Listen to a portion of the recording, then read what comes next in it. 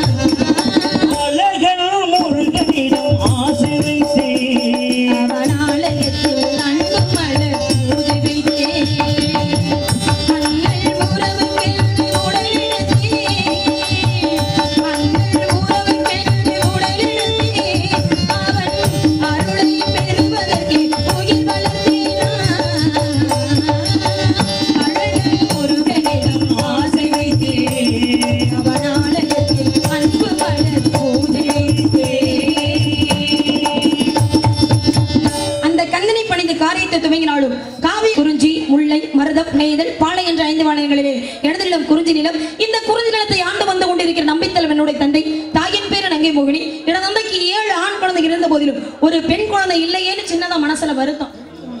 ஏன்னா அதிகமா ஆண் குழந்தை இருந்தா என்ன நினைப்பாங்க? ஒரு பெண் குழந்தை இருந்தா நல்லா இருக்குமே அப்படின்னு தோணும். அதிகமா பெண் குழந்தை இருந்தா என்ன நினைப்பாங்க? ஒரு வாரிசுக்கு ஒரு ஆண் குழந்தை இருந்தா நல்லா இருக்குமே அப்படின்னு நினைப்பாங்க. இது உலக இயல்பான விஷயம். அது மாதிரிதான் பிறந்தது ஏழுமே எங்க அப்பாவுக்கு ஆம்பளை பிள்ளையா பிறந்துட்டாங்க. ஒரு பெண் குழந்தை இருந்த என்ன? உங்க அப்பா முயற்சியை கைவிடல. ஒரு பெண் ஒரு பெண் குழந்தை இருந்தா நல்லா இருக்குமே அப்படின்னு இந்த முருக கடவுளை வணங்குற நேரத்துல வள்ளி கொடிகளுக்கு இடையில் கடந்து எடுத்து வளர்த்து இது நாள் வரைக்கும் எந்த ஒரு குறையும் இல்லாம எங்க அப்பா என்னை வளர்த்துக்கிட்டு வர்றாரு. எந்த ஒரு குறையும் இல்லாம வளர்த்த எங்க அப்பாவுக்கு நான் ஏதாவது ஒரு குறைய வைக்கலாமா? வைக்க கூடாது எதுக்காக சொல்றேன்னா இந்த மூலோகத்துல எத்தனையோ குழந்தைகள் தாயும் தந்தை இருந்தும் கூட அனாதையா இருக்கிறாங்க. அப்படி இருக்கிற பட்சத்துல அனாதையாக இருந்த என்ன? எடுத்து வளர்த்து இந்த அளவுக்கு வெறியாளாக்கி இருக்காங்கன்னா அவங்களுக்கு எந்த ஒரு குறையுமே வைக்க கூடாது இல்லையா? ஆமா என்னைக்கும் இல்லாம இங்க இன்னைக்கு எங்க அப்பா ஒரு விஷயம் என்கிட்ட சொல்லியிருக்கிறாரு. அது ஒரு முக்கியமான விஷயம் சொல்லியிருக்கிறாரு. எப்பவுமே இந்த விஷயத்தை அப்பா நேரடியா வந்துதான் எங்கள்கிட்ட சொல்லுவார். ஆனா இன்னைக்கு வரல. இன்னைக்கு இல்ல ஒரு பல ஆண்டுகளாகவே நாங்க அப்பா வர வர விடுறது கிடையாது இல்ல அவருக்கு கொஞ்சம் உடல்நிலை சரியில்லாம இருக்கு. எதுக்குப்பா வயசான காலத்துல இவ்வளவு தூரம் நீங்க அலைஞ்சுக்கிட்டு இந்த விஷயம் தானே நானே போய் நாட்டு மக்கள்கிட்ட சொல்லிட்டு நானே இந்த விஷயத்தை செஞ்சுக்கிறேன் அப்படின்னு அப்பாட்ட சொல்லிட்டேன். நல்ல எண்ணம். அப்படி இல்ல. ஆ. உங்க அப்பா நம்பிராஜா வந்தா ஒரு பத்து பாட்டாச்சும் பாடுவாரு அப்புறம் இவங்க எந்திரிச்சு வீட்டுக்கு போயிருவாரு. உங்களை இப்ப கேட்டாளா? அதுக்கு தானே நான் எவ்வளவு நாகரிகமா சொல்லிட்டு இருக்கேன் வயசான காலத்துல அழக விட நானூத்தம்பது கிலோமீட்டர் வந்து இவங்களெல்லாம் வீட்டுக்கு அனுப்புறேக்கா இல்ல அப்படி கிடையாது. இன்னைக்கு யாரும் வந்து எந்திரிச்சு போக மாட்டாங்க. ஏன்னா இன்றைய தினம் அந்த மாதிரி விடிகிற வரைக்கும் கண்ணு முழிச்சு தான் ஆகணும் அவங்க. ஏன்னா இன்னைக்கு கண்ணு முழிச்சா அவ்வளவு ஒரு சிறப்பான விஷயம். ஏன்னா இன்னைக்கு சிவன் ராத்திரி இல்லையா? இந்த சிவன். சிவனுக்கு சிவனே இன்று முதல் முழுக்க கண் விழித்திருந்தார் அதனாலதான் சிவனுக்கு உகந்த ராத்திரி சிவராத்திரியாக மாறியது. ஏன் சிவராத்திரிக்கு எல்லாரும் கண்ணு முழிக்கணும்னு சொல்றாங்களே ஏன்? அப்படின்னா அதுக்கு காரணம் இருக்கு. ஏன் இந்த சிவராத்திரி அப்படிங்கறது ஒண்ணு உருவானுச்சு அப்படின்னா பாருங்க தேவர்களுக்கெல்லாம் தலைவனாக விளங்கிய தேவேந்திரனுடைய பாருங்க செல்வங்கள் அனைத்தும் என்ன பண்ணுச்சான் பார்க்கடல்ல போய் விழுந்துச்சான் அஹ் பார்க்கடலை கடைஞ்சதுக்கு ரெண்டு விளக்கங்கள் இருக்கு ஒண்ணு தேவேந்திரனுடைய செல்வங்கள் அனைத்தும் பார்க்கடல்ல விழுந்துருச்சு அதை எடுக்கணும் அப்படிங்கிறதுக்காக கடைஞ்சாங்க இன்னொன்னு அமிர்தத்தை குடிக்கிறதுக்காக அப்படிங்கிறதுக்காக கடைஞ்சாங்க இந்த அமிர்தம் எதுக்கு இந்த பார்க்கடல இருந்து எடுக்கப்பட்டது அப்படின்னா தேவர்கள் அனைவரும் அந்த அமிர்தத்தை சாப்பிட்டா நரை திரை திரை மூப்பு பிணி சாக்காடு. இந்த அஞ்சுமே வராது. இந்த அஞ்சுமே வரக்கூடாது அப்படிங்கிறதுக்காகத்தான் என்ன பண்ணாங்க? தேவர்கள் அதை கடைஞ்சாங்க. அப்படி கடையும் பொழுது பாருங்க அளவுக்கு மீறினால் அமிர்தமும் நஞ்சுன்னு சொன்னாங்க. அப்ப என்ன பண்றாங்க மந்திரகிரி மலையை மத்தாகவும் வாசுகி என்று சொல்லக்கூடிய பாம்பை கயிறாவும் போட்டு ரெண்டு பக்கம் திரிக்கிறாங்க இப்ப பாருங்க இந்த பாம்பு என்ன பண்ணுச்சா வழி தாங்க முடியாம தன்னுடைய விஷத்தை எல்லாம் கக்க ஆரம்பிச்சிருச்சு. இந்த விஷம் எல்லாம் கக்க ஆரம்பிச்சு இந்த பார்க்கடல்ல கலந்தா இந்த பார்க்கடலே விஷமா மாறிடும். அப்ப அதுக்குள்ள இருக்கக்கூடிய உயிரினங்கள் அனைத்துமே செத்து போயிடும் அப்படிங்கிறதுக்காக என்ன பண்ணாங்களா? சிவபெருமான்கிட்ட போய் சொன்னாங்களா இந்த மாதிரி வாசிக்கு என்று சொல்லக்கூடிய பாம்பு என்ன பண்ணுச்சு? வழி தாங்க முடியாம விஷத்தை கக்கிருச்சு. இதுக்கு ஏதாவது நீங்க தான் தீர்வு சொல்லணும். அப்படிங்கும் போது என்ன பண்ணாரா? சிவபெருமானே அதை உருட்டி திரட்டி என்ன பண்ணாரா? தன்னுடைய முழுங்க பார்த்தார். இப்படி முழுங்கும் போது பார்த்தாங்களா ஆதிபராசக்தி என்ன இருந்தாலும் கணவர் இல்லையா? கணவர் இல்லைன்னா ஜகமே இல்லையா? ஏன்னா மும்மூர்த்திகள்ல முதல் மூர்த்தியே சிவபெருமான் தான். அழிக்கும் தெய்வம். அப்படி இருக்கும் பொழுது அவர் இறந்துட்டாருன்னா என்ன ஆகும் அப்படிங்கிறதுக்காக என்ன பண்ணாங்களா? பார்வதி தேவி சிவபெருமானுடைய தொண்டையை இறுக்கி அப்படியே பிடிச்சாங்க. அதனால ஆண்களுக்கு வந்து இந்த இந்த இடத்துல தொண்டையில முடிச்சிருக்கும். சிவபெருமானுக்கு பாத்தீங்கன்னா இந்த விஷமாகப்பட்டது அப்படியே தொண்டையில தங்கிருச்சான் அதனாலதான் சிவபெருமானுக்கு இந்த இடத்துல மட்டும் நீல நிறமா இருக்கும். அதனாலதான் அவருக்கு பேரு திருநீலகண்டர் அப்படின்னு ஒரு பேர் வந்துச்சு. அதுக்கப்புறம் பாருங்க இந்த என்ன இருந்தாலும் விஷம் தானே சாப்பிட்டாங்க. அப்ப விஷத்தை சாப்பிட்டு பாம்பு கடிச்சா என்ன பண்ணுவாங்க? அன்று இரவு முழுக்க அவங்கள தூங்க விட மாட்டாங்க. ஏன்னா தூங்குனா விஷம் வந்து தலைக்கு ஏறிடும் உடனே இறந்து போயிருவாங்க அப்படிங்கிறதுக்காக என்ன பண்ணுவாங்க? அன்னைக்கு முழுக்க தூங்க விட மாட்டாங்க. அப்ப சிவபெருமானே தூங்க விடக்கூடாது அப்படிங்கிறதுக்காக அன்னைக்கு என்ன பண்ணாங்களா? நிறைய கூத்தெல்லாம் நடத்துனாங்களாம் ஆடல் பாடல் அப்படிலாம் நடத்தி சிவபெருமானை விடிகிற வரைக்கும் கண் முழிக்க வச்சாங்களாம் அன்னைக்கு ஆடினது திருக்கூத்து. இன்னைக்கு நம்ம ஆடிக்கிட்டு இருக்குது. இது தெருக்கூத்து தான். ஒரு சில பேர் தெருக்கூத்து அப்படிம்பாங்க. அது தவறான விஷயம். இதுவும் தெருக்கூத்து தான். ஏன்னா அந்த முருகப்பெருமானுக்காக நம்மளாம் வந்திருக்கோம் அப்படிங்கும் போது இதுவும் ஒரு தெருக்கூத்து தான். அப்ப என்ன பண்றாங்க? அன்று முழுக்க என்ன பண்ணாரா? சிவபெருமான் தூங்காம கண் விழித்திருந்தாரா பாருங்க இந்த உலகத்துக்கே அப்பனாக விளங்கக்கூடியவர் யாருன்னா அது சிவபெருமான் தான். இப்ப சிவபெருமானே இன்னைக்கு முழுக்க கண் விழித்திருந்தாருன்னா அந்த தினத்துல நம்மளும் கண்ணு முழிச்சிருந்தா நல்லதே நடக்கும் அப்படிங்கிறது ஒரு ஐதீகமாக நடந்துகிட்டு இருக்கு. அப்ப என்ன பண்ண கொஞ்சம் அவருக்கு ஒரு மயக்க நிலை ஏற்பட்டுருச்சு. யாருக்கு சிவபெருமான் அப்ப என்ன பண்ணாரா? பார்வதியுடைய மடியில சுருண்டு அப்படியே படுத்துக்கிட்டாராம். அது சுருண்ட படுத்தனாலேயே சுருண்டப்பள்ளீஸ்வரர் அப்படிங்கிற ஒரு ஆலயமே உருவாகிறது காரணமா இருந்துச்சு. அப்ப சிவராத்திரிக்கு எவ்வளவு விளக்கங்கள் இருக்கு பாத்தீங்களா? அப்ப இவ்வளவு விளக்கங்கள் இருந்தாலும் கூட எங்க அப்பா சொன்னனே ஒரு விஷயம்னு. என்ன விஷயம் தெரியுமா? என்ன விஷயம்? காவலுக்கு போகணும். நாங்கெல்லாம் சேர்ந்து காட்டுக்கு காவலுக்கு போகணும் அப்படின்னு அப்பா என்கிட்ட ஒரு விஷயத்தை ஒப்படைச்சிருக்கிறார். ஆமா. எத்தனையோ தெய்வங்களை நான் வணங்கிட்டு கண்ணுக்கு தெரியாத தெய்வங்கள் எத்தனையோ இருந்து வணங்கியானவங்கள நம்ம கண்ணுக்கு தெரிந்த தெய்வம் அது யாரு? நம்மளுடைய தாயும் தந்தையும் தான். அவங்கள முதல்ல வணங்கிட்டு அதுக்கப்புறமா நம்ம சிவபெருமானை வணங்கலாம்னு நினைக்கிறேன்.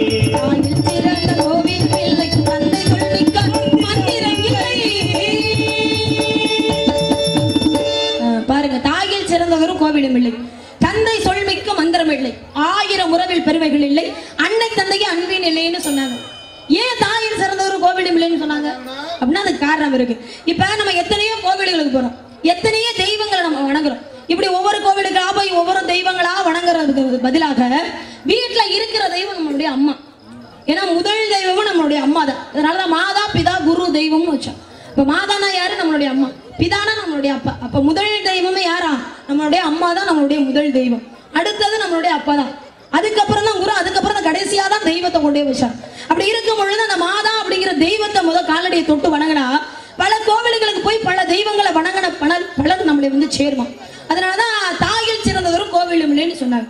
தந்தை சொல்மிக்க மந்திரம் இல்லை. ஏன் தந்தை சொல்மிக்க மந்திரம் இல்லை? இப்ப ஒவ்வொரு தெய்வங்களுக்கும் ஒவ்வொரு மந்திரங்கள் இருக்கு. இந்த ஒவ்வொரு தெய்வங்களுக்கும் ஒவ்வொரு மந்திரங்களை நம்ம சொல்றோம். இப்ப சிவபெருமானுக்கே உண்டான மந்திரம் என்ன? பஞ்சாட்சர மந்திரம். நம சிவாய அப்படிங்கறது அவருடைய மந்திரம். ஏன் அந்த மந்திரத்தை நம்ம சொல்றோம்? அதுலயும் பாருங்க. நம சிவாய அப்படின்னு அஞ்சு எழுத்தையும் சொல்லணும் அவசியம் கிடையாது. சிவா அப்படின்னு சொன்னாலே அந்த மந்திரத்தை சொன்ன முழு பலன் நம்மளே இருந்து சேரும். இப்படி அந்தந்த முருகப்பெருமானுக்கு ஒரு மந்திரம் இருக்கு. என்ன மந்திரம்? சடாட்சர மந்திரம். மகாவிஷ்ணுவுக்கு மந்திரம் இருக்கு. அஷ்டவாத்திர மந்திரம். இப்படி ஒவ்வொருத்தவங்களுக்கும் ஒவ்வொரு மந்திரங்கள் இருக்கு. அந்த மந்திரங்களை நம்ம ஏன் தெய்வத்துக்கு சொல்றோம்? அப்படின்னா தெய்வத்தினுடைய மனசு குளிர்ச்சி அடையணும். அப்படி குளிர்ச்சி அடைஞ்சா நமக்கு ஏதாவது ஒரு பலனை கொடுக்குமே அப்படிங்கிறதுக்காக தான் நம்ம அதெல்லாம் செய்யறோம் அதனாலதான் பன்னிரெண்டு ஆண்டுகளுக்கு ஒரு முறை கும்பாபிஷேகமும் நடத்துறோம். இந்த கும்பாபிஷேகத்திலே பல வகை இருக்கு. பன்னிரெண்டு ஆண்டுகளுக்கு ஒரு முறை நடக்கக்கூடிய கும்பாபிஷேகம் அஷ்டபந்தன கும்பாபிஷேகம் மகா கும்பாபிஷேகம் வருடாபிஷேகம். இப்படி ஒவ்வொன்றுக்கும் காரணம் இருக்கு. பன்னிரெண்டு ஆண்டுகளுக்கு அதிகம் வைக்கிறாங்க. என்ன காரணம்? அப்படின்னா அதுக்கு ஒரு ஒரு காரணம் இருக்கு. இல்லைங்களா? அது தனியாவே நின்று பேசணும்னா நல்லா இருக்காது அப்படி ஆளுகளோட சேர்ந்து பேசினா நல்லா இருக்கும். வரட்டும் வரும்போது சேர்ந்து பேசலாம். அப்ப பாருங்க இந்த கொடிமரம் இருக்கே இந்த கொடிமரத்துக்கும் மனுஷனுக்கும் மிகப்பெரிய ஒற்றுமை இருக்கு. இந்த கொடிமரம் இருக்கே. இந்த கொடிமரத்துல ஒவ்வொரு கோடு இருக்கு பாத்தீங்களா? அது மொத்தம் முப்பத்தி ரெண்டு இருக்கும். நம்ம முதுகு தண்டு இருக்கு பாத்தீங்களா? இந்த முதுகு தண்டனுடைய பின்னால இருக்கு பாத்தீங்களா? முடிச்சு முடிச்சோம் அது மொத்தம் முப்பத்தி ரெண்டு இருக்கும். அப்ப ஒரு கோவில்களோட கொடிமரத்துக்கும் மனிதனுக்கும் மிகப்பெரிய ஒரு ஒற்றுமை இருக்கு. இல்லையா? அப்படி இருக்கும் பொழுது அப்படிப்பட்ட நம்ம தாய் தந்தையும் தொட்டு வணங்கி அப்பா சொல்ற ஒரு சொல்லு ஒரு வார்த்தையை கேட்டோம்னா பல மந்திரங்களை சொன்ன பல நம்மளை வந்து சேருமா. அதனாலதான் அப்பா சொன்ன நம்ம கேட்கணும். யாரும் கேட்கறது கிடையாது ஒரு சில பேர் கேட்க மாட்டாங்க. ஒரு சில பேர் கேட்க மாட்டேங்கிறாங்க. ஏன்னா பெத்தவங்க நம்மளை பெத்து வளர்த்து ஆளாக்கி நல்லா படிக்க வச்சு ஒரு இடத்துல திருமணம் பண்ணி கொடுத்து நம்மளை நல்லபடியா வாழ வைக்கிறாங்க. ஏன்? அவங்கள நல்லா படிக்க வச்சு நல்ல இடத்துல திருமணம் பண்ணி கொடுத்தா தான் நம்ம வயசானதுக்கு அப்புறம் அவங்க நம்மளை பார்த்துக்குவாங்க அப்படிங்கிற ஒரு நம்பிக்கை. அதனாலதான் பெத்தவங்க நம்ம படிக்க வைக்கிறாங்க நல்ல இடத்துல திருமணம் பண்ணி கொடுக்குறாங்க. ஆனா அவங்க கடைசி காலத்துல வயசானதுக்கு அப்புறம் நம்மள பாக்குறோமா ஒரு சில பேர் என்ன பண்றாங்க? குறிப்பிட்ட வயசு வந்ததுக்கு வரும் கொண்டே முதிர் இடத்துல கொண்டே தள்ளிட்டு வந்துடுறாங்க. வயசான காலத்துல இம்சை தாங்க முடியல. சும்மாவே இருக்க மாட்டீங்களாப்பா? சும்மாவே இருக்க மாட்டீங்களாமா? உங்களாலதான் குடும்பத்துக்குள்ளே குழப்பம் ஏற்படுது. அப்படின்னு கொண்டே முதியோர் இடத்துல கொண்டே தள்ளிட்டு வந்துடுறாங்க. அப்படியெல்லாம் காலகட்டங்கள் போய்கிட்டு இருக்கு. இப்ப துரோகத்திலே பெரிய துரோகம் எது தெரியுமா? அது நம்பிக்கை துரோகம். அந்த நம்பிக்கை துரோகத்தை தான் பெத்தவங்களுக்கு ஒரு சில பேர் பண்ணிக்கிட்டு இருக்காங்க. இந்த ஓரறிவு படைத்த ஆலமரம் இருக்கே. இந்த ஆலமரம் என்ன பண்ணுமா? இளமையா இருக்கும்போது விழுதுகளை விட்டுக்கிட்டே வரும். ஏன் அது விழுதுகளே விட்டுக்கிட்டு வருதுன்னா நம்ம வயசான காலத்துல அதெல்லாம் வேறு கொண்டு நம்மளை தாங்கி நிற்கும் அப்படிங்கிற ஒரு நம்பிக்கை. அதே போல அந்த நம்பிக்கையை அந்த விழுதுகள் எல்லாரும் காப்பாத்தும். என்ன பண்ணும்? ஆலமரம் வயசாகி தளர்ந்ததுக்கு அப்புறம் இந்த விழுதுகள் எல்லாம் பூமியில வேர் ஊன்றி அந்த சுத்தி வர ஆலமரத்தை தாங்கி நிற்கும். ஓரறிவு படைத்த ஆலமரத்துக்கு இருக்கிற அறிவு ஆறறிவு படைத்த மனிதர்கள் நம்மள ஒரு சில பேருக்கு இல்லாம போயிருச்சு. கல்யாணம் பண்ணதுக்கு அப்புறம் தான் ரொம்ப பேர் மாறுறாங்க. ஆமா அதுக்கு முன்னால யாரும் நல்லா தான் இருக்கிறாங்க? என்னங்க? ஏன்னா மருமகள் தான் சொன்னாங்க. வரக்கூடியவங்க அடுத்த மக மாதிரி இருந்து பார்த்துக்கணும். இவங்களும் மாமியார் தான் இருந்தாலும் அவங்களும் அம்மா மாதிரி பார்த்துக்கிட்டாங்கன்னா குடும்பத்துல பல பிரச்சனைகள் இருக்காது. ஒருத்தருக்கு ஒருத்தர் இப்ப கணவன் மனைவிக்குள்ள விட்டு போகிறதுக்கு பதிலாக மாமியார் மருமக கொஞ்சம் விட்டு கொடுத்து போனாங்கன்னா குடும்பம் நல்லா இருக்கும் இல்லைங்களா? அப்படியெல்லாம் போய்கிட்டு இருக்கு. இருந்தாலும் கூட எங்க அப்பா என்னை எடுத்து வளர்த்தவரா இருந்தாலும் கூட அவரை கடைசி வரைக்கும் வச்சு காப்பாத்துவேன் அப்படிங்கிற தன்னம்பிக்கை இருக்கு. அதே மாதிரி அவங்க என் மேல வச்சிருக்க நம்பிக்கையை நான் காப்பாத்துவேன். அதனால அந்த சிவபெருமானை வணங்கிட்டு அதுக்கப்புறமா காவலுக்கு போகலாம். எடுதண்டானடி